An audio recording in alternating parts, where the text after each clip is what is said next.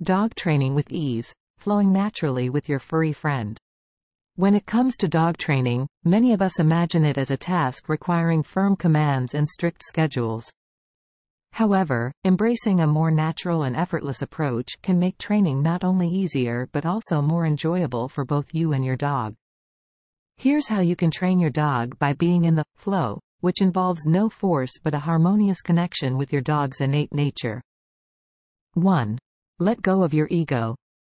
It's easy to get caught up in power struggles with your dog, especially when they aren't responding as you expect. This resistance often stems from our own ego and attachment to controlling how training should progress. What if the secret to better behavior wasn't in forcing a change but in allowing it to surface naturally? For instance, if your usual commands aren't working, stepping back and observing might reveal a new method that aligns more closely with your dog's personality and preferences.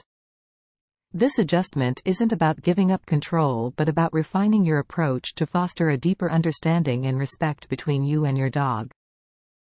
2. Allow perceived control. A profound yet subtle method involves letting your dog feel in control, even though you are guiding the process. This approach is about balancing leadership with empathy. Could it be that sometimes, the best way to lead is to follow? By setting boundaries within which your dog can make choices, you encourage their confidence and cooperation.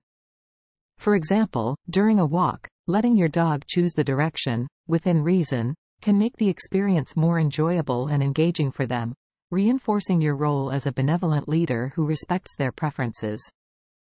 3. Don't rush. Flow with time. In dog training, patience is more than a virtue.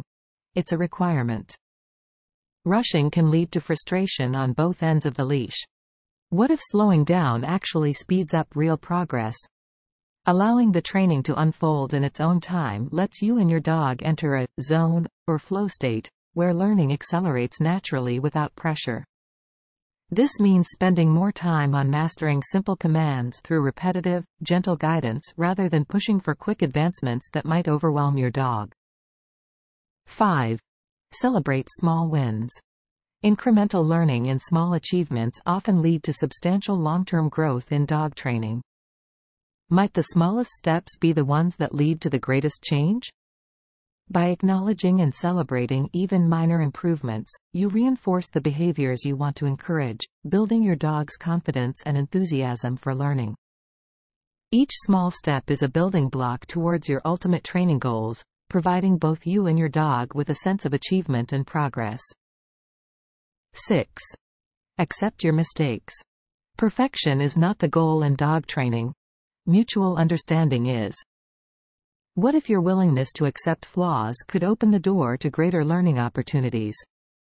Recognizing and accepting your own mistakes can enhance your relationship with your dog, who likely forgave you long before you forgave yourself.